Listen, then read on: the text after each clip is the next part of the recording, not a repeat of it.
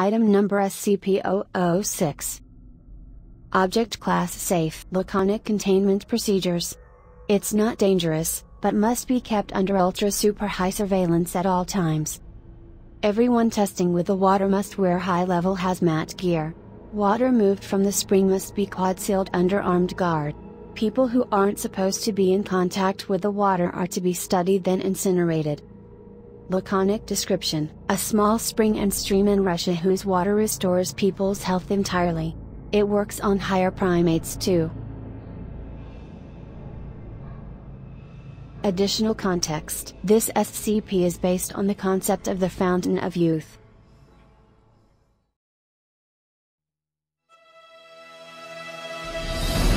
シナリオ読み込み型創作ツール、ハチへようこそ。